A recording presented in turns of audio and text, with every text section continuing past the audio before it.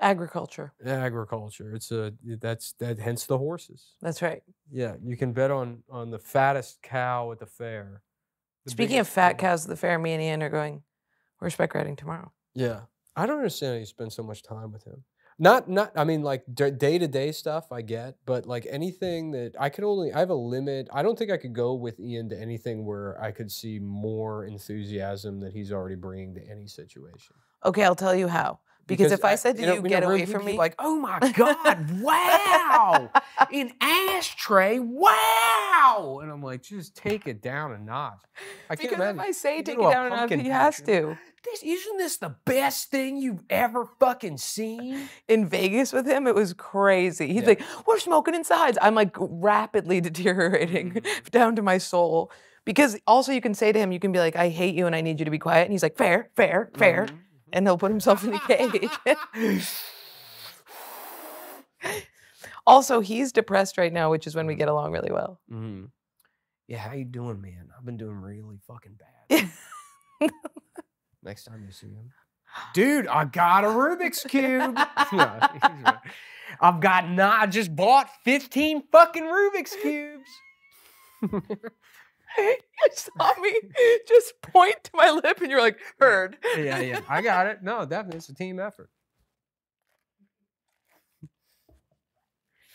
Dude, dude, I was thinking about getting it. I've just, I've been getting into classic Tiger electronic handheld games. I just spent eighteen thousand dollars on eBay.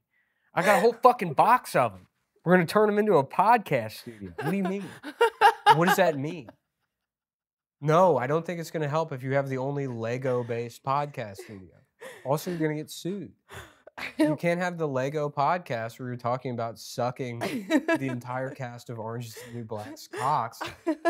I guess Luke Moniz was telling a story last night about Joe List's AirPods getting stolen, and, Mhm. and Ian was like, yawn. And Luke was like, sorry, it's not a story about you getting like raped by a thimble of cum. Or Yeah, yeah.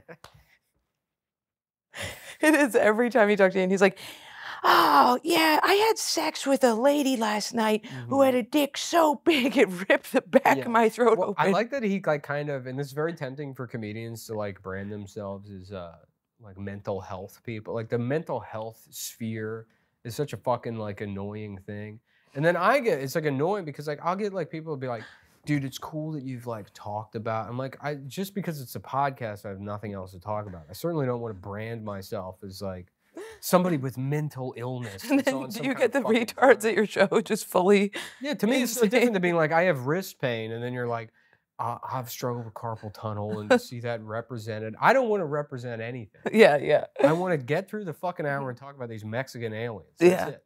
I have a lot of That's all I wanna borderline girls coming out to my shows But Ian, Ian gets into the the branding himself as like a, or not branding himself. I don't. That seems unfair. But you know, he does talk about mental health stuff. more of the bisexuality Yeah, but it's the mental health. Like Ian, you should be fucked up.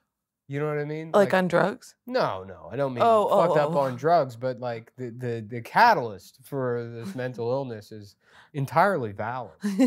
You know, it's like the the the, the mental health internet influencer ecosphere.